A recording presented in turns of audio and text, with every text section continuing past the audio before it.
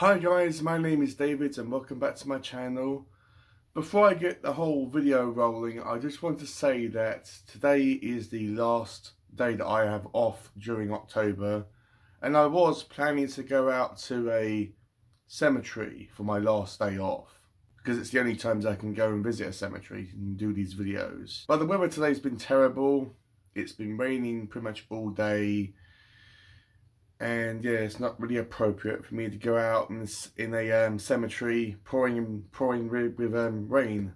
This isn't going to be the last video for October. I'm probably going to do maybe one, maybe two more videos, ending it up with my October wrap up and what I'm planning to do for November. But in today's video, I am going to be reviewing Survivor Song by Paul Tremblay. I've had this book in my possession for a while now.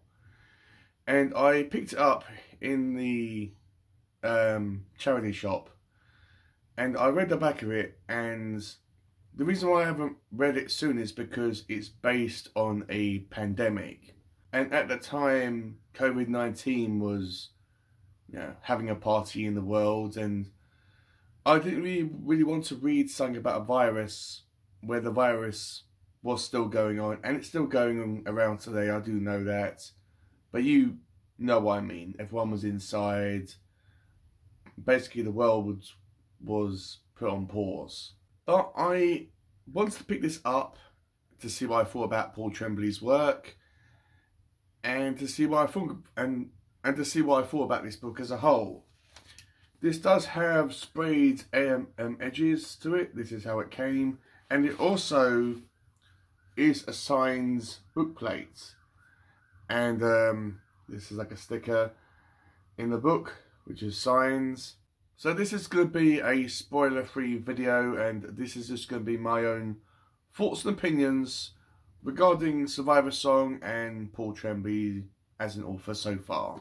So Survivor Song is in a post-apocalyptic world as such.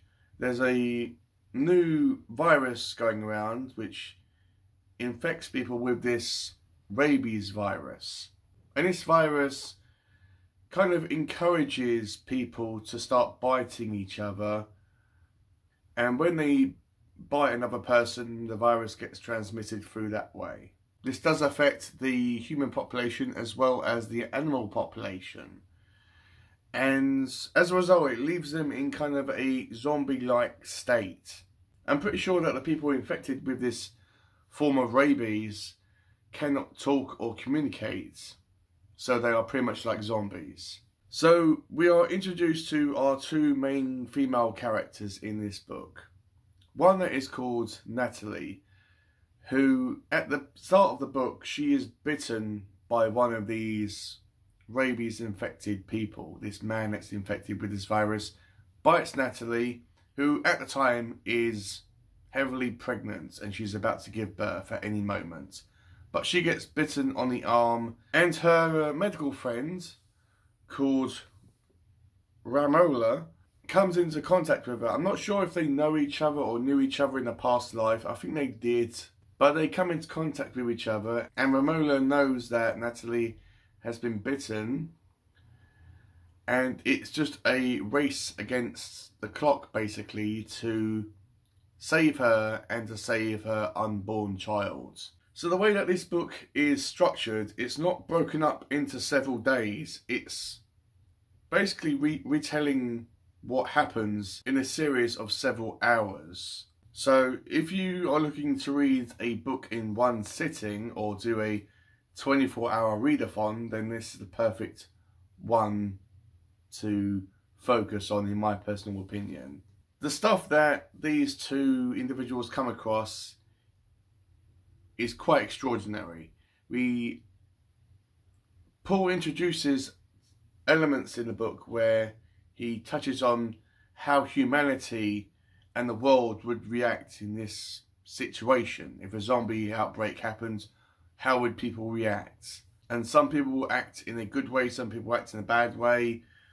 They do come across some shady characters in this book, as well as a couple of kids on bikes and a group of zombie hunters. And this book is all about Ramola trying to save her friend, to try to rescue her and to deliver a, a unborn baby. They come across all these road, uh, these uh, roadblocks that they uh, come across, and it's just a race against time. And when you are reading this, I won't spoil what happens, but Natalie has been bitten, and in this whole world, the further you are bitten on your body, away from your brain, is is um is theoretically it's going to give you more time until you change basically into this mindless eating machine or you know a zombie. So if you're bitten on the neck, it's going to take the virus um, a short distance from going to your neck to your brain rather than if you've been bitten on your big toe, it's going to take it um, a while before it goes up from your foot up to your um, yeah, head area. So when you're reading this book, you're thinking about, okay, Natalie has been bitten on the arm and she's going to eventually turn into one of these creatures. Whether she does or whether she doesn't, I'm not going to say. But there's that kind of thing at the back of your mind saying, well, what's the point? And to that, I say that friendship is the point. Ramola goes basically to hell and back for her friend. She is determined to not just save her friend, but save her friend's unborn baby. And there are points in this book where the book is kind of split up into perspective chapters, I would say. You know, we got Ramola's chapters, which are focused on, yeah, her journey and and um, Natalie's journey as well, and yeah, them going through the motions to try to save each other. But there's also shorter chapters which are focused on Natalie, where she is pretty much recording messages, I think, on her phone to her unborn child. So she's kind of giving the child her backstory and the idea is if she doesn't make it the child can just like listen to these recordings and get to know their mother better so this was a really really good book. I'm really impressed with paul. His writing is very very easy to read. It flows in a really good way. I was engaged from start to finish. Yes there were a few scenes here and there that kind of slowed the story down, but I didn't mind it. This story isn't about the zombie um, outbreak. This is more about Nat Natalie and Ramola going on this journey in this environment where the zombies and this virus exist. And what happened at the end, as always, I won't spoil what happens at the, you know, at the end. I'm not one of them types of people. But the ending left me with like OMG moments. Like, Paul, you couldn't leave this book at that time. You can't leave it. I need more. I need to know what happens to these characters. You cannot do this to me.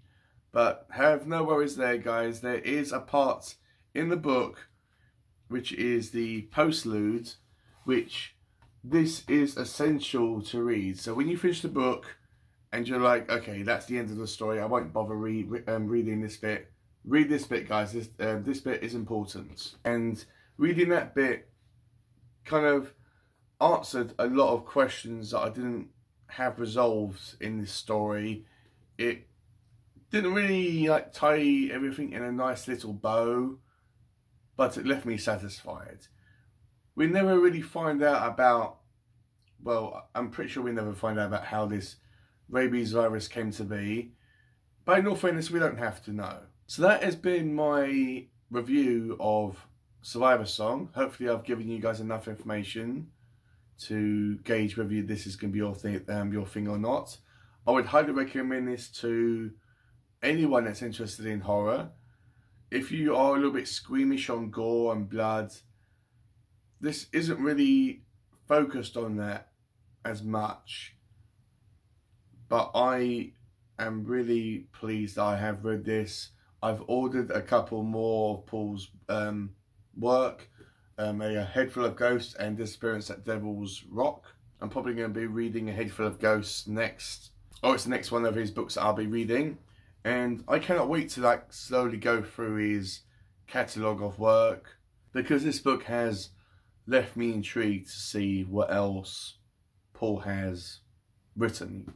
So when it comes to what I'm going to rate this book, I'm going to rate it a 4 stars out of 5. Let me know, have you read Survivor Song? Well, what did um, you think of it? Did you like it? Did you not like it? Is there anything else by Paul Tremblay that you have read that you recommend that I read? Apart from Head Full of Go, um, a um, Head Full of Ghosts. I think that everyone in the comments is probably going to be saying you have to read that book. But apart from that one, is there anything else that you recommend that I read by Paul? And if you haven't read this book, let me know if I've maybe encouraged you or inspired you to pick it up and give it a chance. So guys, that has been my video. Hopefully you enjoyed it. Thank you for watching. We're in the um, end game now for October. Hopefully I can get you, hopefully I can get a few more videos out before this month ends. I'm planning to do, as I said, a October wrap up to actually tell you what I've read this month and also as I said what I'm planning to do for November because November I want to have a more like laid back and chilled month not not just with reading but with uploading videos but I'll go for that in that video I'm not sure if I'll be doing any other videos apart from that one um who actually knows but thank you for watching this one guys and I'll see you in my next video.